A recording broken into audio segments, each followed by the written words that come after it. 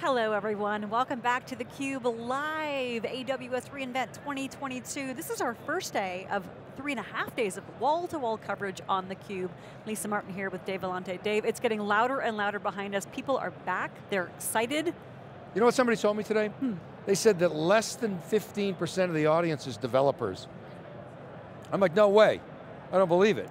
But now maybe there's a redefinition of developers because it's all about the data, it's all about the developers in my mind, and that'll never change. It is, and one of the things we're going to be talking about is app modernization as customers really navigate the journey to do that so that they can be competitive and, and, meet the demands of customers. We've got an alumni back with us to talk about that. Ajay Patel joins us, the SVP and GM Modern Apps and Management Business Group at VMware. Ajay, welcome back.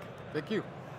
It's always great to be here, so thank you, David. Isn't it great? It's great to be back in person. So the VMware Tanzu team here back at reInvent on the Flow Shore, Flow, flow show floor, there we go. Talk about some of the things that you guys are doing together, innovating with AWS. Yeah, so it's, it's great to be back after in person, after multiple years, and the energy level continues to amaze me. Uh, the partnership with AWS started on the infrastructure side with VMware Cloud on AWS, and when, with Tanzu, we're extending it to the application space. And the work here is really about how do you make developers productive? To you, your earlier point, it's all about developers, it's all about getting applications in production securely, safely, continuously, and Tanzu is all about making that bridge between great applications being built, getting them deployed and running, running and operating at scale. And EKS is a dominant Kubernetes platform. And so the better together story of Tanzu and EKS is a great one for us, and we're excited to announce a set of innovations in that area. Well, Tanzu was so front and center at VMware Explore. I wasn't at, in, in, VMware Explore Europe, right. but I'm sure it was a similar kind of uh, focus. When are customers choosing Tanzu? Why are they choosing Tanzu? What's, what's, what's the update since uh, last August when we yeah, You know what, uh, the market settled into three main use cases. One is all about developer productivity. Mm. You know, consistently, we're all dealing with skill set gap issues. How do we make every developer productive, modern developer? And so Tanzu is all about enabling that developer productivity, and we can talk quite a bit about that. Second one is security front and center and security being shifted left, right into how you build great software, how do you secure that through the entire supply chain process, and how do you run and operationalize security at runtime. So we're hearing consistently about making secure software supply chain a heart of what our solution is. And third one is, how do I run and operate the modern application at scale across any Kubernetes, across any cloud? These are the three themes that are continuing to get resonance. And empowering all of this, which is exciting, David, is this formation of platform teams. I just finished a study with uh, Bain Consulting doing some research for me. 40% of our organization now have a, some form of a central team that's responsible for, for what we call platform engineering and building platforms to make developers productive. That is a big change since about two years ago even. So this is becoming mainstream and customers are really focusing on delivering value to making developers productive now. And, and the other nuance that I see, and you kind of see it here in the ecosystem, but when you talk about your customers, with platform engineering. They're actually building, they're, they're pointing their business, taking a page out of AWS, pointing their businesses to their customers. Right. Becoming software companies, becoming cloud companies, and really generating new forms of revenue. You know, the interesting thing is some of my customers I would never have thought as leading edge are retailers. Yeah. And not your typical Starbucks that you get a great example. I have an auto parts company that's completely modernizing how they deliver point of sale all the way to the supply chain. All built on Kubernetes at scale you typically thinking of that a financial services or a telco leading the pack, but I'm seeing innovation in India, I'm seeing the innovation in EMEA coming out of there.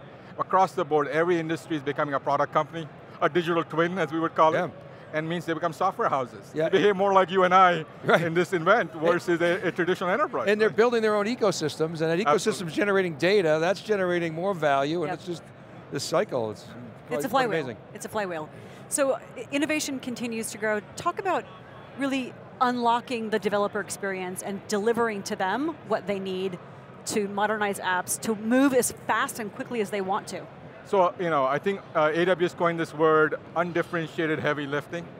If you think of a typical developer today, how much effort does he have to put in before he can get a single line of code out in production? Mm. If you can take away all the complexity, typically security compliance is a big headache for them, right? Developer doesn't want to worry about that infrastructure provisioning, getting all the configurations right is a headache for them. Being able to understand what size of infrastructure or resource to use cost effectively? How to run it operationally? Because the application team is responsible for the operational cost of the product or service. So these are the un, you know, heavy lifting that developers want to get away from. So they want to write great code, build great experiences, and we've always talked about frameworks, a way to abstract away the complexity. And so for us, there's a massive opportunity to say, how do I simplify and take away all the heavy lifting to get an idea into production seamlessly, continuously, securely. Is that part of your partnership? Because you think about AWS, they're really not about frameworks. They're about primitives. I mean, Werner Vogels even talks about that in his, in his speech. Was, you know, but, but that makes it more challenging for developers. You know, actually, if you look at some of their uh, initial investments around Proton and et cetera, work they're starting to do, they recognize, you know, PaaS is a bad word, yeah. but the outcomes the platform as a service offers is what everybody wants. I just talking to the AWS leader who's responsible for the area. He actually has a separate build team. He didn't know what to call the third team. He has a Kubernetes team, he has a serverless team, and has a build team. And that build team is everything above Kubernetes to make the developer productive. Right. and the ecosystem to bring together to make that happen. So I think AWS is recognizing that primitives are great for the elite developers, but if they want to get the mass scale and adoption in the business IT, if you will, they're going to have to provide richer set of building blocks and reduce the complexity. And partnership like ours make that a reality. And what I'm excited about is there's a clear gap here and Tanzu is the best platform to kind of fill that gap. Well, and I, I think that you know they're going to double down, triple. I just wrote about this. Double down, triple down on the primitives. Yes. They have to have the best, you know, servers and storage and database. And I think the way they they I call it taping the seams is with the ecosystem. Correct. You know, nobody has a, a better ecosystem. I mean, you guys are, you know, the the postage child for the ecosystem, and now this even exceeds that. But partnering up, that's how they continue and, and they're looking for someone who's open, right? Yeah, yeah. And so one of the first question is, you know, are you proprietary or open? Because one of the things they're fighting against is the lock-in. So they can find a friendly partner who is open source led, you know, upstream, committing to the code, delivering that innovation, and bring the ecosystem into an orchestrated choreography. Yeah. It's like singing a music, right? They're running, a, running an application delivery team is like running a, a musical orchestra. There's so many moving parts here. Right. How do you make them sing together?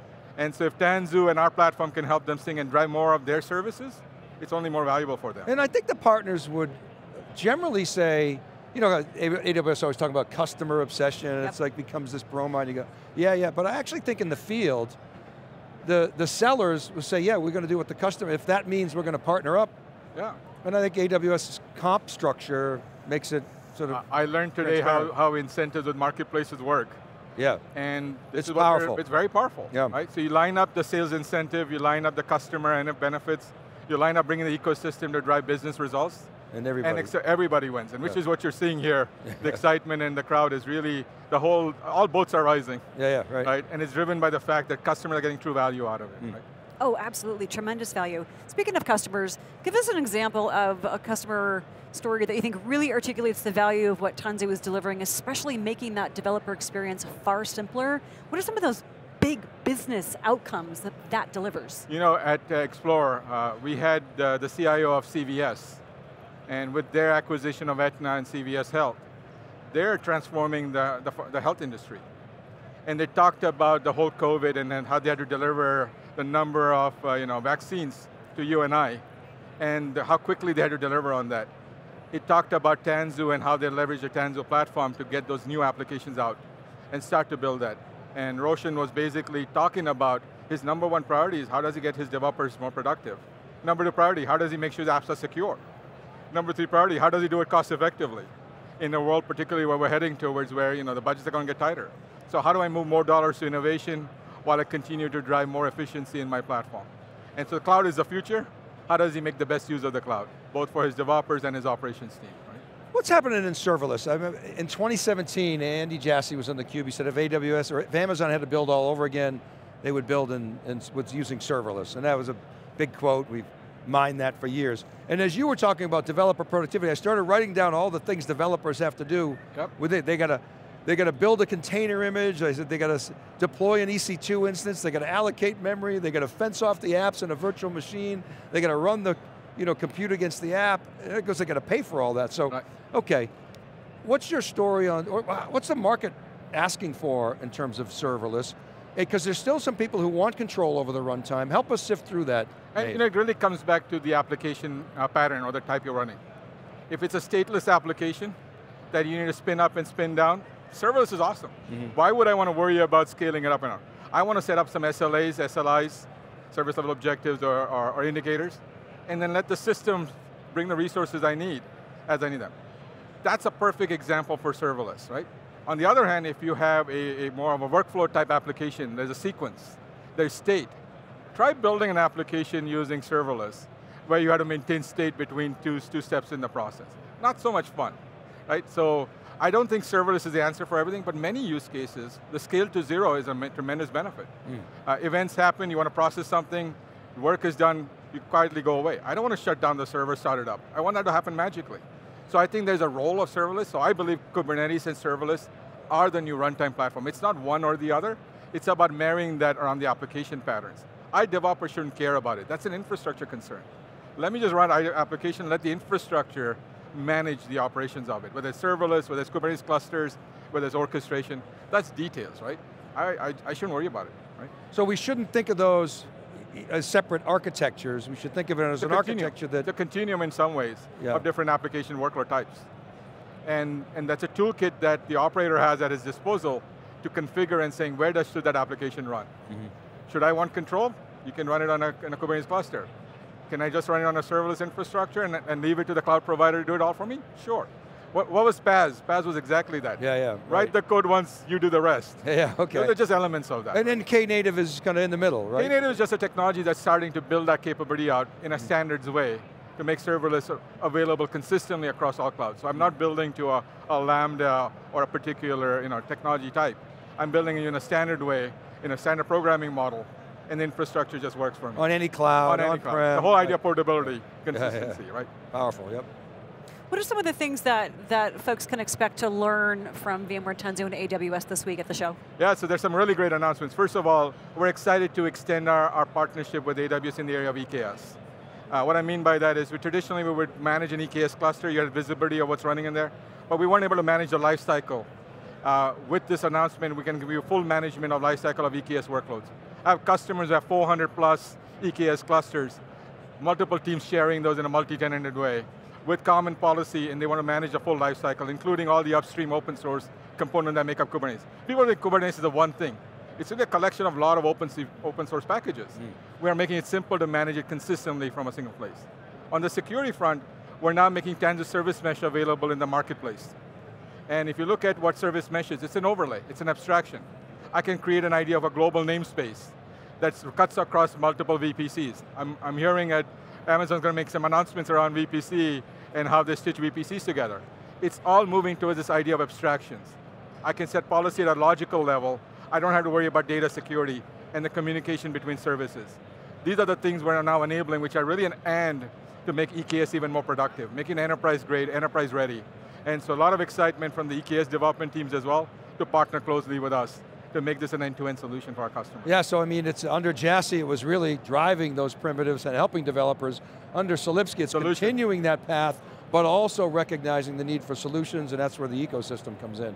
Right. And the question is, what is that box as you said last time, right? For the super cloud, there yeah. is a cloud infrastructure which is becoming the new palette. Well, but how do you make sense of the 300 plus primitives? How do you bring them together? What are the best practices patterns? How do I manage it when something goes wrong? These are real problems that we're looking to solve. And if you're going to have deeper business integration with the cloud and technology in general, you have to have that abstraction. You know, one of the simple questions I ask is, how do you know you're getting value from your cloud investment? That's a very hard question. What's your trade-off between performance and cost? Do you know where your security, when a log4j happens, do you know all the open source packages you need to patch? These are very simple questions, but imagine today having to do that when you, everybody's doing it in a bespoke manner using the set of primitives. You need a platform. The industry has shown at scale you have to start standardizing and building a consistent way of delivering and abstracting stuff. And that's where the next stage of the cloud journey. And, and with the economic environment, I think people are also saying, okay, how do we get more? We're, exactly. we're in the cloud. Now how do we get more? How the do most we value out of the that? cloud, yeah, exactly. Totally. Right. How do we transform the business? Last question, Ajay, for you is, if you had a bumper sticker and you're going to put it on your fancy car, what would it say about VMware Tanzu and AWS? Mm, I would say Tanzu accelerates apps. Love it. Thank you so much. Thank Thanks, you so much for joining As us, always, we appreciate great it. to be here. Pleasure. Likewise. For our guest, I'm Dave Vellante. I'm Lisa Martin. You're watching theCUBE, the leader in emerging and enterprise tech coverage.